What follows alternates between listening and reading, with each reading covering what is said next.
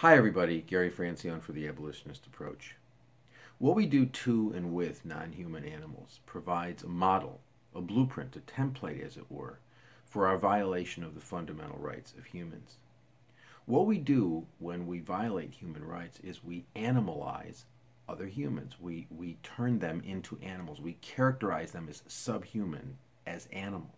And then they're just animals. We can do what we want to with them because we can do what we want to with animals. We can exploit animals. We can exploit humans that we animalize.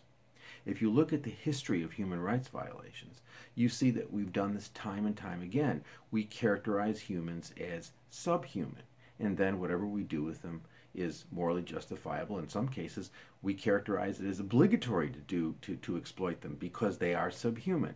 So if you look at race-based slavery or sexism or any any form of human rights violation, you almost always find uh, instances where we've animalized uh, humans and and basically made them subhumans and thereby justified our exploitation of them.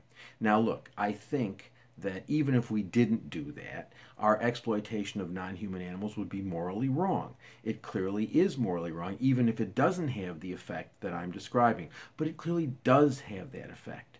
What we do with animals provides a model, it is a blueprint, it is a template for our violation of human, fundamental human rights.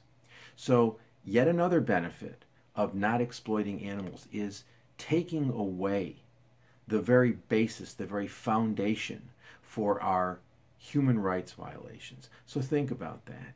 Uh, it really militates in favor of going vegan and recognizing the fundamental rights of non-human animals not to be regarded as as resources for human use. Go vegan. It's so easy for you to do it, and it's so difficult for the animals if you don't. For information about going vegan, visit our website, howdoigovegan.com. Thank you very much for listening.